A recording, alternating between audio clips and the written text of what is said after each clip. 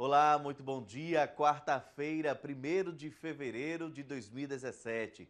O Alés Notícia, edição das nove, já está no ar. Hoje vamos trazer os detalhes da audiência pública que será realizada aqui na Lese sobre mídia e misoginia. E saiba também como funciona o Centro de Especialidades Médicas para Crianças e Adolescentes aqui em Aracaju. Esses e outros destaques no Alés Notícia, que começa agora.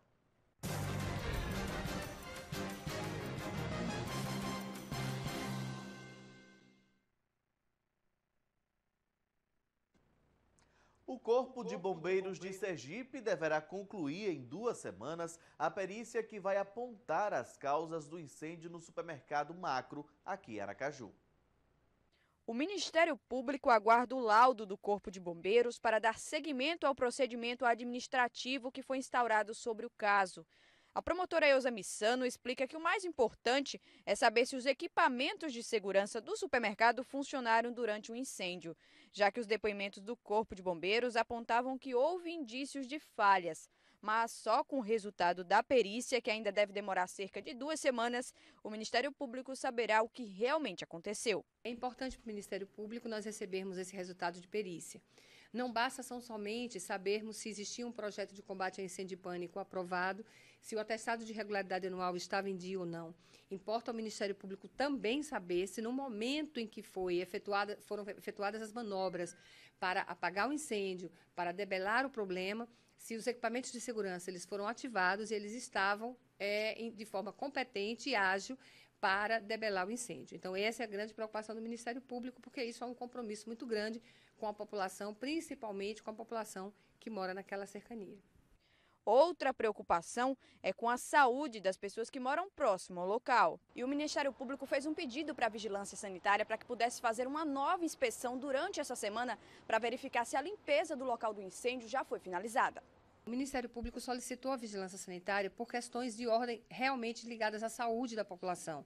A população reclamava, reclamava pelo odor muito forte, a demora da retirada dos entulhos, né, dos ferros enfim, todo o material que foi queimado, né, e a gente não tinha ideia né, do, da gravidade daquela situação, daquela fumaça, da toxicidade daquela fumaça para a população. Então, esse é o papel da vigilância municipal, foi prontamente atendido pela sua coordenadora de vigilância, né, e o Ministério Público agora está aguardando somente esse relatório final para saber se houve o cumprimento dos prazos que foram estabelecidos pela vigilância de Aracaju. O incêndio que destruiu o supermercado Macro em Aracaju aconteceu no último dia 10, com grandes proporções, e para apagar o fogo foi necessário um intenso trabalho do Corpo de Bombeiros. Apesar da destruição, o grupo responsável pelo supermercado já declarou que ele será reconstruído em breve.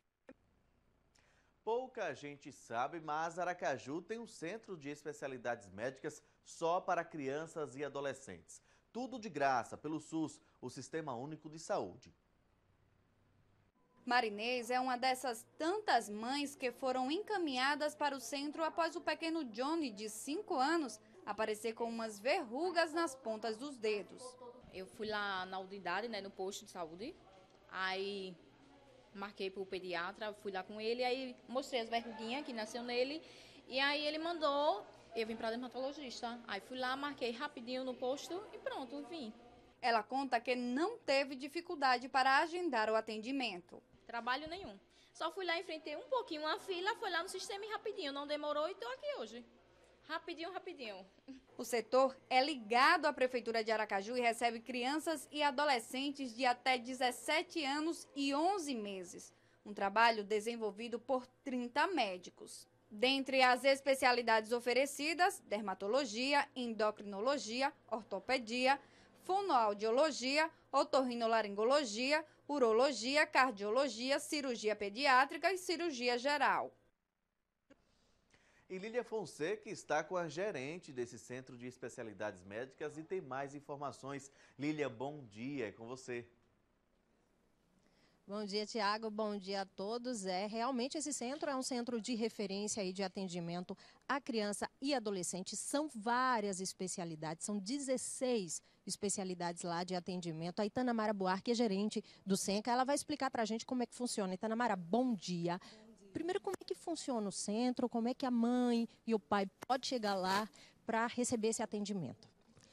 O SENCA, né, ele, como você já falou, é um centro de especialidades médicas, né, que atende adolescentes e crianças, né, a idade é de 0 aos 17 anos e 11 meses. Né? Lá nós temos um quadro de médicos bastante capacitados, que por sinal o doutor André Sotero, cardiologista pediatra, né, fazia parte de nosso quadro, mas agora ele está nos apoiando como secretário municipal, né, juntamente com Edivaldo Nogueira, nosso prefeito. Lá é, atende toda a população da capital, né, como também dos municípios de Sergipe né, o que é que acontece? A mãe vai na sua unidade de saúde, né, o posto de saúde próximo, faz aquele agendamento, né, que é via sistema e só precisa ir lá no centro no dia que está agendado né? mas também o, o, município dessa, dessa forma, como também o da capital. Vai no posto de saúde e faz esse agendamento via sistema e aparece lá. Mas existe também alguns profissionais de portas abertas. Né? Esse agendamento que é feito, ele é feito com médicos que são neuropediatra, cardiopediatra, hematologista, né? são reumatologista, geneticista, alguns profissionais. E esses porta abertas são justamente alguns tratamentos, como nutri, geneticista, fono, psicólogo, neonatologista, que é justamente porta aberta porque não precisa desse agendamento via sistema. Era justamente isso que eu queria explicar. Porta aberta, o nome já diz, é porta aberta, a pessoa chega lá no centro, procura esses especialistas que estão nessa relação e recebem o atendimento sem esse atendimento prévio. Isso, justamente é.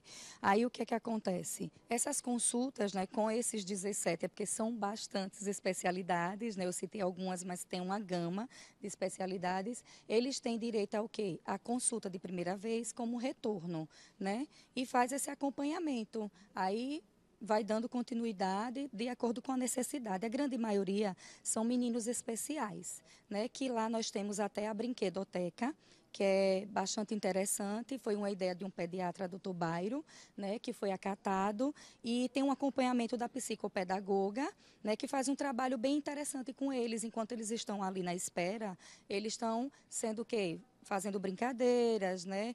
Tem vários tipos, jogos recreativos, construtivos, e já vai preparando essa criança para que ele venha né, ser consultado ali. Desenvolvendo esse lado lúdico da Isso. criança. Itanamara, lá atende muito criança com microcefalia.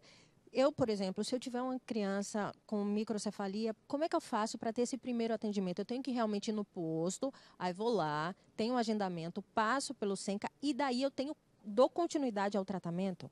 É. Lá no SENCA, é, existiu até um mutirão, né? Que foi onde alavancou essa questão dos pais terem essa conscientização de quando iniciou, né, o que é a microcefalia, né? Então eles estavam desesperados, iam muitas vezes lá e esse médico, o geneticista, né, Dr. Emerson fez o que? Um trabalho juntamente com Nutri, Fono, enfermeira, criou uma equipe e deu aquele suporte a esses pais que queriam ter um entendimento do que era a microcefalia. Né? E esses meninos, eles são atendidos, né? foram mais ou menos 30 crianças na época desse mutirão, onde eles dão continuidade a essa consulta, são atendidos pelos especialistas. Os pais tiveram essa conscientização e como né, agir, entendeu? Ele faz esse acompanhamento lá, né, tem esse tratamento, tem esse, essa consulta, retornam e o que é que ocorre? Esses meninos que ainda não estão cadastrados podem chegar lá, que vão ser atendidos. Agora sim, geralmente é interessante procurar sempre a unidade básica, né? Porque meninos do, dos municípios mesmo, para não se deslocar, né? Fala com a gerente da unidade, a UBS, e eles entram em contato com a gente e a gente já faz essa marcação, tanto da grande capital como do, do município, né? De Sergipe, dos Outro importante fato é a questão da, da especialização em pé torto, né? Lá você recebe, vocês recebem muitas crianças e, e muita gente até desconhece. Uhum. Temos especialistas que são é, os ortopedistas, né? O que é que acontece? Lá é referência de pé torto, os meninos quando é porta aberta, né? Já recebe um encaminhamento e vai diretamente. Esse médico ele atende essas crianças, né? Que faz aquela preparação para que os meninos venham fazer cirurgia se for a necessidade, né? Que vai depender da, do grau de necessidade de cada um, mas é porta aberta e é referência. Nesse caso, vocês fazem todo esse trabalho de, de consulta, de indicação e orientação e encaminhamento para a cirurgia. Isso, faz esse acompanhamento, essa consulta e vai de acordo com a necessidade. Às vezes tem necessidade de colocar o gesso, retorna, coloca de novo, entendeu? E é um preparo para até aqueles que têm a necessidade de fazer a cirurgia. Quem tiver interesse, estiver assistindo e falar, ah, não conheci o serviço, como aonde é que ele funciona, na verdade, onde é que o Senca fica localizado e qual horário de funcionamento, claro, né? Porque tem especialista de segunda a sexta, o dia todo. Isso, temos especialistas, né? Como eu falei, uma gama de profissionais bastante capacitados, são 16, né, especialidades lá, e eles trabalham de acordo de segunda a sexta, né? Tem os dias que são variados, né? E só é fazer assim. Aquela busca é na rua de Sergipe, né, no fundo do SEMAR, vizinho ao SAMU, mas sempre você é interessante buscar o que a sua unidade para que às vezes não se desloque ou aquele especialista não esteja naquele dia, não seja porta aberta e tenha necessidade de fazer esse agendamento, né? Lá também nós temos algo interessante que é um grupo de obesidade que faz um acompanhamento com esses meninos que estão acima do peso, né? O, o médico acompanha vários especialistas, vai de acordo com a necessidade de cada um e que fazem um encontro uma vez por mês com todos eles. E é interessante isso porque hoje a juventude está cada vez mais fortinha, né? Parece que os meninos eles não, eles não querem praticar nenhuma atividade física, a alimentação está toda descontrolada e aí vem o sobrepeso. Uhum, é justamente esse sobrepeso que é acompanhado pelos profissionais que direciona a outros também, vai de acordo com a demanda e a necessidade. E esse trabalho que eles fazem uma vez por mês é bastante interessante, né? Com endócrino, nutri, enfermeira tem um quadro, um grupo que faz esse tratamento com eles. Tanamara, muito obrigada pelas obrigada informações. Parabéns e sucesso aí pelo trabalho. Muito obrigada. Tiago. Obrigado, Lilian. Espero que agora os aracajuanos possam entender melhor como funciona o Centro de Especialidades Médicas e passem né, a utilizar desses serviços. Nós vamos agora a um breve intervalo e na volta vamos falar da febre das corridas de rua. O que fazer para começar a praticar o esporte e ainda os detalhes da audiência pública sobre mídia e misoginia. Eu volto daqui a pouquinho.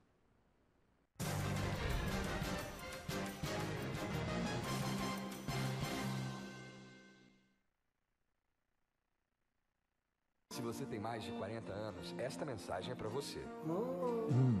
Para você, ó.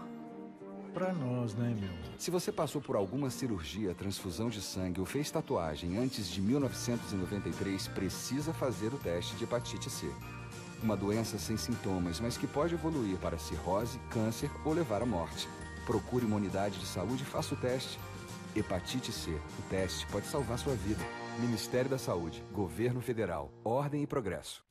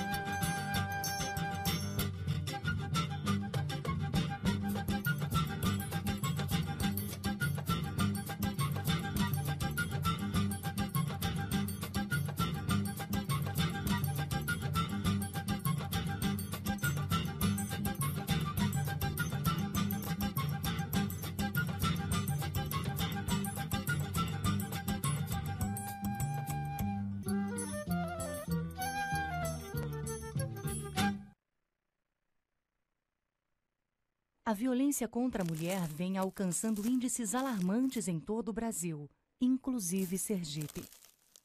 Precisamos nos unir já para enfrentar esse absurdo. A Alese, através da Frente Parlamentar em Defesa da Mulher, está mais do que nunca ao lado da mulher mãe, estudante ou profissional de diferentes raças, credos, idades e classes sociais para fazer valer seus direitos constitucionais e, sobretudo, seus direitos como ser humano, merecedor de total respeito e admiração pelo que representa para a vida. Se você vir ou souber de qualquer violência contra a mulher, denuncie. Violência contra a mulher, uma cicatriz no coração da sociedade. A Assembleia Legislativa de Sergipe, uma instituição a serviço do povo.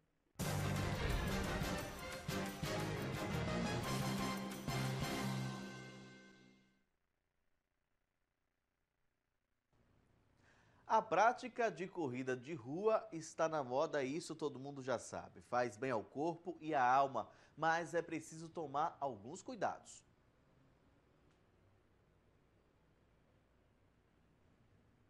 O jornalista Anderson Fernandes se diz apaixonado por esporte e pela corrida nem se fala. Uma história de amor antiga. Eu sempre fui um praticante esportivo desde a época de escola, sempre gostei de futebol, sempre gostei de vôlei. E aí ele me incentivou a começar e também gostava de perder alguns quilinhos também, né? Manter a atividade física em dia. Aí comecei a praticar aos poucos também, fazendo esse trabalho. Muitas pessoas têm paquerado essa modalidade, o que para o preparador físico Yuri Sampaio é algo que exige muito mais que colocar um tênis e sair correndo por aí. Corrida hoje é um dos esportes que mais cresce no mundo, né? A quantidade de corridas que tem hoje no Brasil e no mundo são enormes. As pessoas hoje viajam para exterior para poder fazer maratonas, meias maratonas, e isso também requer um preparo, requer todo um processo pré-corrida. Simplesmente a gente pode decidir, vou começar a correr, colocar um tênis e sair para um calçadão, sair para uma praia e correr.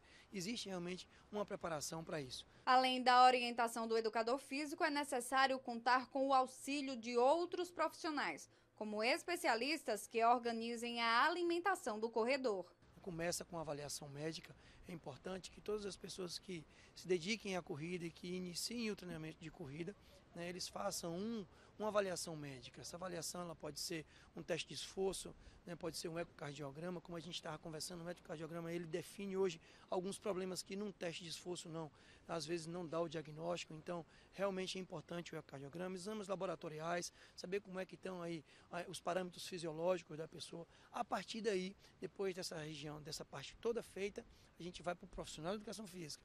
Quem monta, quem prescreve, quem orienta a corrida é o professor de educação física. Quanto à alimentação, Anderson diz não se descuidar. Eu procuro na semana sempre estar é, com aquela comidinha bem regrada, né? A minha mãe me prepara sempre o almoço certinho, tudo muito bem preparado. E no final de semana, às vezes, eu procuro botar o pé na jaca, porque dizem que a alimentação balanceada é isso, né? Você cuidar um pouquinho assim. Então, uma alimentação bem e uma alimentação um pouco mais exagerada, vamos dizer assim, nesse sentido. Se hidratar é um fator que deve ser observado. Nós temos que ter normalmente aí um consumo de 2 litros de água por dia, mas numa cidade como a nossa, isso pode ir até 3 litros. Praticantes de exercício têm que estar atentos justamente à corrida, porque a gente perde muita água, o calor é muito intenso, teve uma corrida domingo ainda aqui, né, pessoas correndo 9 horas da noite, o sol estava castigante, então é necessário você se hidratar antes da corrida, dependendo do tempo de corrida que você faça, se hidratar durante a corrida e com certeza após o treino, seja ele qual for. Yuri ainda alerta, dormir bem, com qualidade, é muito importante. Os pilares de uma boa saúde, para aumentar a qualidade e quantidade de vida, que a gente não quer viver só bem, a gente quer viver muito.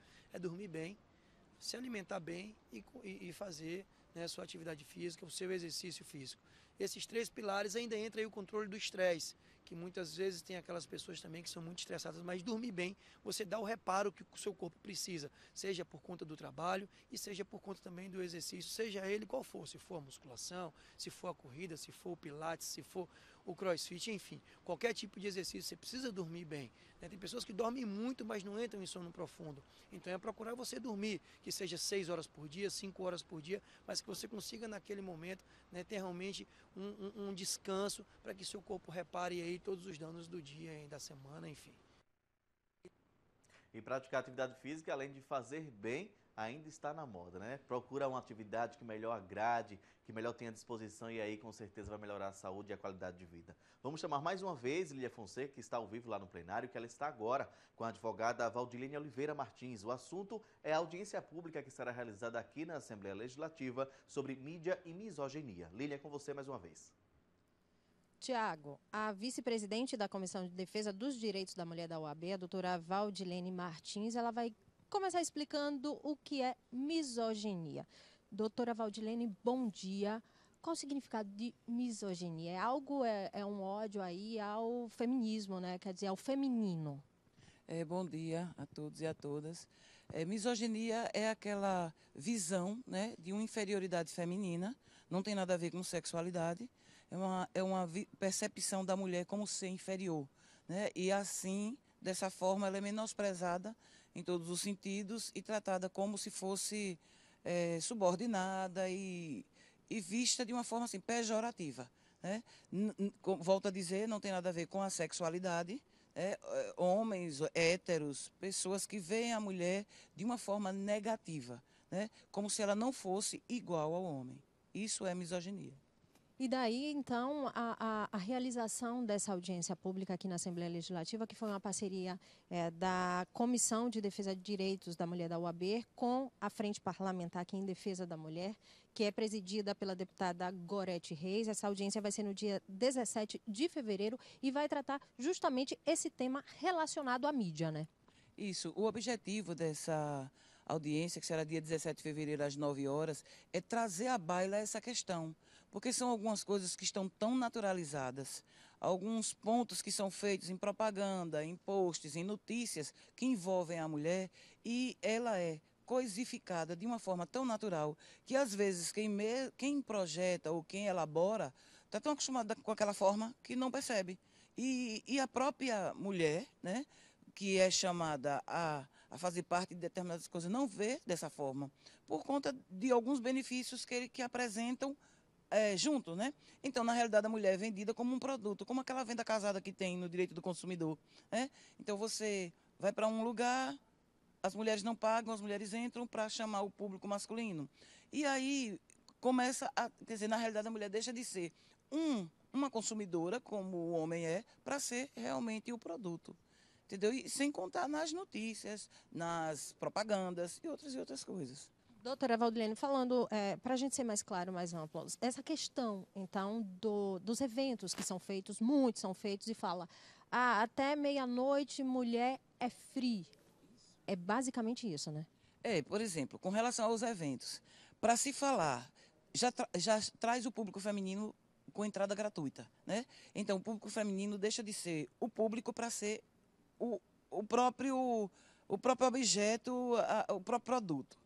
Aí quando o público vem, então faz, é, eles fazem aquela, ao invés de dizer entrada gratuita para a mulher, não é mulheres free, free ou mulheres liberadas. Quer dizer, isso dá um duplo sentido para aquela pessoa que está lá. E muitas vezes a mulher não percebe que, por exemplo, é, a, a, a, vida financeira é muito difícil de todo mundo. Aí você vê uma oportunidade de ir para uma festa, para um show, e que você não paga, você não percebe o que tem por trás né, daquilo ali. E aí eles fazem isso constantemente e traz a mulher como a isca, uma isca. Né? Além desse, desses eventos que, que a gente está falando, tem as questões também das notícias. Como elas são dadas quando é uma mulher que está no foco. Né? Quando você fala que um, uma mulher abandonou o filho na casa um pai, como é que uma mulher abandonou, deixou na casa do pai? Então, aquela visão de que a mulher sempre tem que estar com o filho, que filho não é obrigação de pai. É, recentemente nós tivemos um jogo feminino da seleção brasileira onde as meninas ganharam o jogo de 4 a 0, um jogo internacional muito importante. E a notícia que foi estampada no jornal foi meninas dão de 4. Quer dizer, toda vez a mulher é, é levada ao cunho pejorativo sexual, a coisificação, a desqualificação dela enquanto ser humano. Então a gente tem que trazer isso. O que a gente vai fazer é que a mídia, principalmente a mídia sergipana, que é uma formadora de opinião, que ela reveja, é, observe e fique mais atenta para essas coisas, né? É, a gente vai trazer assim uma provocação e também é, é que um, a palavra-chave vai ser desconstrução, para a gente rever o que a gente tem como correto, se realmente aquilo é correto. Na verdade, uma certa conscientização também, né? Porque por mais que as mulheres falem, ah, vamos quebrar preconceitos, vamos desconstruir, mas acabam aceitando de certa forma. Porque a desconstrução tem que ser coletiva. Não adianta você desconstruir só com o homem ou só com a mulher. Né? Eu, toda vez eu digo isso. A igualdade de gênero, a equidade, que, é, que vai além da igualdade, porque ela busca a justiça, a equidade de gênero é uma luta da humanidade que tem a mulher como protagonista. Então, tanto participa o homem como a mulher. E essa desconstrução tem que começar desde a educação que nós damos em casa, diferenciada aos nossos filhos e às nossas filhas, né? com restrições sempre no direito de ir das meninas e nunca no direito de ir dos meninos. Naquele caso, o menino pode tudo. Ah, é menino, portão aberto. A menina tem que ficar aquela coisa, não, mais segura, não pode, mais retraída. É, na realidade, a gente não cria pessoas, não cria seres humanos. A gente cria bichos soltos e bichos presos, né? Porque o menino sempre, o âmbito público é o âmbito dele desde que ele nasce. E ele é inserido na violência desde cedo. A menina não, o âmbito privado é o que é reservado para ela, né? E ela é ali, ela pode demonstrar todos os sentimentos, ela pode fazer tudo. Já o menino não, isso é cesseado dele. Então, é, essa educação, dessa forma dicotômica, né? Ela traz prejuízo para para todo mundo, tanto para o homem como para a mulher. Então, essa, essa audiência vai visar isso, a gente levantar, suscitar essas questões para que a mídia sergipana é, abrace a causa, reveja essa forma de propaganda, essa forma de notícia, para que essa equidade de gênero se torne objetivo de todos, porque a gente sabe, a gente reconhece quando uma sociedade é, ela é bem sucedida, ela é logrou êxito enquanto, enquanto humana quando você vê o grau de liberdade que a mulher tem.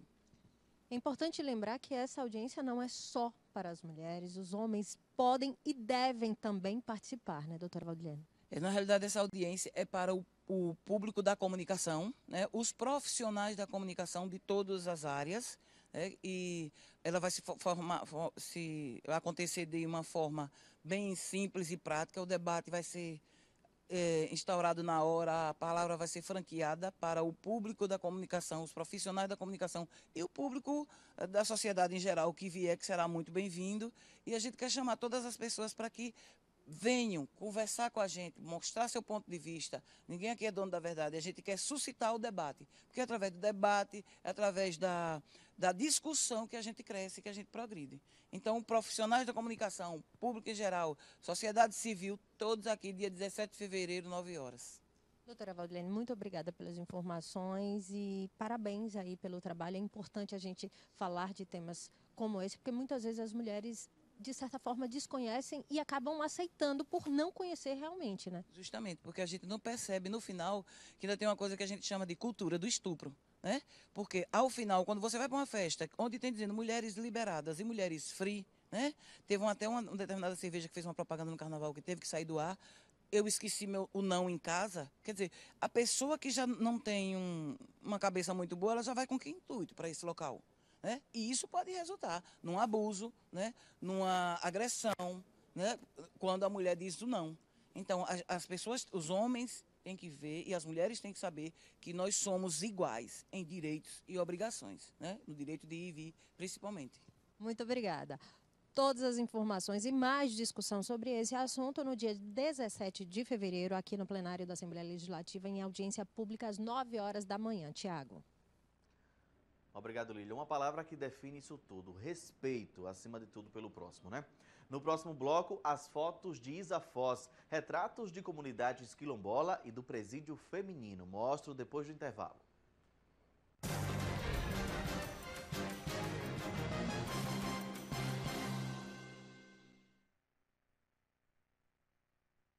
TV Alese, um canal de comunicação entre o parlamento e os sergipanos. A primeira transmissão da TV Alese foi em junho de 2004. De lá para cá, muita coisa mudou. E hoje você tem uma emissora moderna, transparente, dinâmica, com uma variedade de programas e informação de qualidade. São 24 horas de programação, mostrando as sessões plenárias, o dia a dia dos parlamentares, entrevistas e reportagens especiais. Assista a TV Alese fique por dentro de tudo o que acontece em Sergipe. TV Alese, o canal da transparência e cidadania.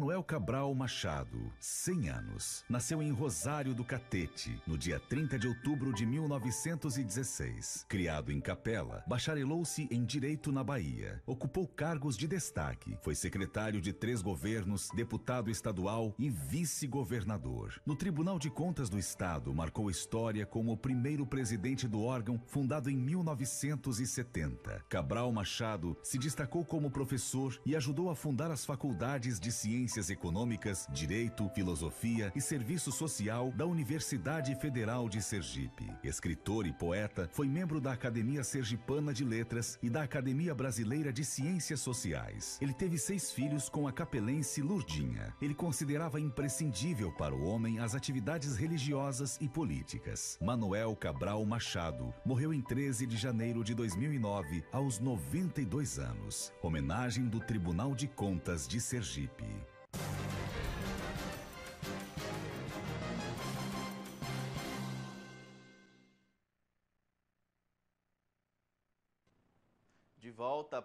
Das fotografias de Isa Foz. A vida em comunidades quilombolas e no presídio feminino é retratada com sensibilidades pelas lentes da fotógrafa paulista apaixonada por Sergipe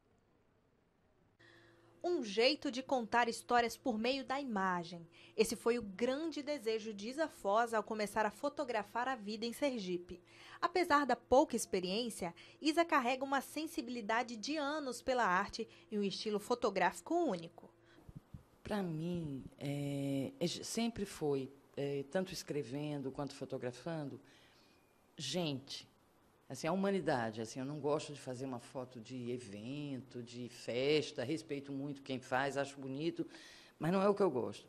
Mas o que eu puder mostrar de a vida das pessoas e conhecer a vida das pessoas é o que me encanta. Então é isso que me encanta. Onde eu acho alguma coisa assim, algum fenômeno interessante da vida das pessoas, é o que me faz fotografar. Isa veio jovem para Sergipe. Nascida em São Paulo, descobriu que aqui em Aracaju poderia recomeçar a vida.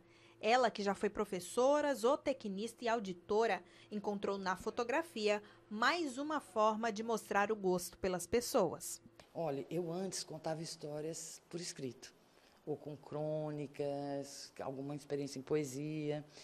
E eu tinha uma tristeza enorme de não saber desenhar. Aí, quando eu descobri que fotografia não era tão difícil quanto eu imaginava, e eu descobri isso quando minha neta nasceu, tirando as primeiras fotos dela, aí eu disse que bom, agora eu tenho outro jeito, outra linguagem para contar minhas histórias. E acho que justamente por eu contar histórias antes, é que as fotografias que me interessam são exatamente essas. As que contem uma história. Eu gosto muito de gente. A fotógrafa começou profissionalmente em 2012 e já lançou-se a um grande desafio: acompanhar a antiga comunidade quilombola da Ilha do Rato para as novas moradias na área de preservação permanente no município de Pirambu. Eu já tinha conhecido de passagem e fiquei interessada, perguntei, tudo muito natural. Eu conheci o líder da comunidade quilombola, Pontal da Barra, perguntei: olha, eu estou para me aposentar, eu posso voltar aqui para tirar umas fotos? Ele pode. E eu voltei. voltei, me apresentei, disse ele aqui assim que eu gostaria muito de acompanhar esse momento que a comunidade vivia, de passar das casas de palha para as casas de alvenaria, que queria registrar isso e fui muito bem-vinda e fui umas sete vezes fazendo esse tipo de registro. Além das fotos no Quilombo, Isa acompanhou em 2015 o trabalho realizado voluntariamente no Presídio Feminino Prefem, com o projeto do Ministério Público do Estado Renascer. A fotógrafa trouxe parte da exposição Enquanto a Tranca Não Bate para o espaço de Genal Queiroz, uma experiência que lhe rendeu a amizade da curadora Ilma Fontes e o reconhecimento do trabalho na Casa do Povo. É, você sabe que presídio só aparece na televisão ou no jornal quando acontece algum fato negativo. Dificilmente, ou até aparece e as pessoas não prestam tanta atenção. Quando fala, ah, fugiu, aí todo mundo presta atenção. E eu queria contar essa história das mulheres aprendendo a fazer tricô, aprendendo, tendo aula, passando no Enem, é, fazendo teatro, curso de teatro. Enfim, era essa história que eu queria, de mulheres normais que estão ali que eu espero tenham um futuro bem melhor.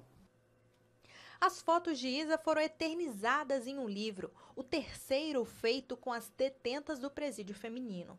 A ideia do livro foi publicar poesias feitas pelas presidiárias, conduzidas pelo eterno professor Araripe Coutinho. Araripe já realizava esse trabalho há quatro anos e Isa finalizou a obra. Araripe conduzia, às terças-feiras, uma oficina literária com as meninas. Ele propunha um tema para 17 meninas e discutia, e depois elas iam escrevendo o que elas quisessem em cadernos. Aí esses cadernos foram sendo juntos, né, coletados, os textos.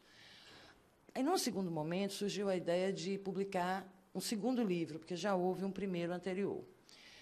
E eu me voluntariei eu trabalhei como voluntária o tempo todo, para revisar os textos. E nessa revisão de textos, eu tive muita vontade de acompanhar o processo de fotografia. E aí acabei indo como fotógrafa voluntária. Mas aí Araripe já tinha encerrado as oficinas, a participação dele. Ele esteve lá num momento comigo, já para fazer fotos com elas para o livro que ia ser publicado pelo Ministério Público.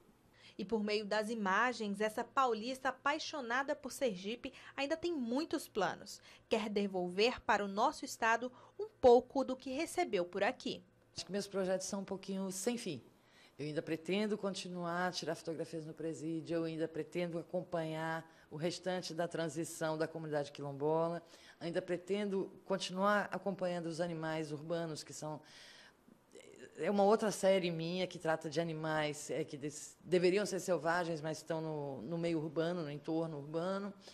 E agora o projeto mais próximo é participar de uma exposição coletiva. É, ela está sendo promovida pelo Estúdio 360, que convidou cinco fotógrafos. E eu estou entre os cinco, agradeço muito a, a honra do convite. E nós vamos expor no Café da Gente Sergipana a partir de 21 de março das impressionantes fotos de Isa para o treino do Sergipe. O Colorado está a todo vapor nos treinos para manter a liderança no estadual. No treino de ontem, já dá para saber algumas substituições que vão entrar em campo na próxima partida contra o Estanciano. O time busca se manter na liderança do estadual e vai disputar um jogo duríssimo contra o Estanciano, que tem dado trabalho para o técnico. Uma vitória diante do Estanciano é fundamental para que a gente mantenha a liderança, nos aproximamos né, dessa classificação e depois numa segunda fase aí brigar realmente pelo título. Além do Fabiano, nós temos a dúvida do Gil também, né? Do próprio Ferreira também no gol. São atletas que ficaram de fora desse jogo por causa desse tipo de situação. E nós temos aí os jogadores, né? Tem é, possibilidades de, de mudanças, né? E dentro do trabalho a gente depois vai estar definindo. Com desfalque certo do artilheiro Fabiano, o atacante Iago vai ter que correr para balançar as redes. Sabemos que é um adversário muito difícil, que nos últimos anos tem dado muito trabalho. Não, não conseguimos vencê-los aqui dentro de casa, mas já é passado, né? É uma outra história agora, são outros jogadores que estão aqui. Tenho certeza que nós estamos no caminho certo, né? Estamos trabalhando aí muito forte desde a, de dezembro, então eu tenho certeza que vamos fazer um grande jogo diante do nosso torcedor em busca da vitória.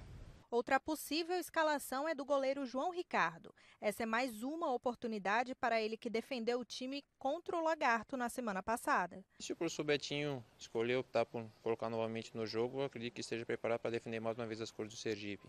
Esse é o último treino antes do jogo contra o Estanciano às 8h15 no Batistão. Apesar da tranquilidade, o técnico não vai dar folga não. É que daqui para frente ainda tem Copa do Nordeste e Copa Brasil. Desde a da pré-temporada lá atrás, é, eles trabalharam muito por, é, por essas competições difíceis que nós vamos ter pela frente. E eles estão preparados. Né? Agora é jogo a jogo, todo mundo vai ter sua, seu momento né, de mostrar sua qualidade e principalmente representar bem o Sergipe. Ales Notícia, edição das nove, fica por aqui. Mais informações ao meio-dia com Lília Fonseca. A gente encerra com imagens do Pia do Parque dos Cajueiros. Muito obrigado pela companhia. Bom dia para você, a gente se vê amanhã.